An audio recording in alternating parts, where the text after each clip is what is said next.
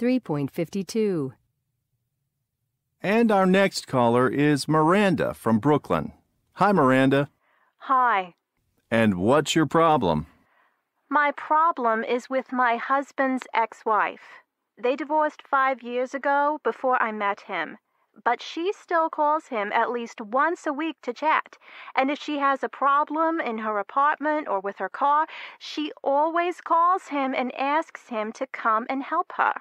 Does your husband have children with his ex wife? No, they don't have any children.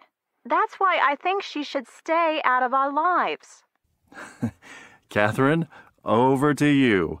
What do you think Miranda should do?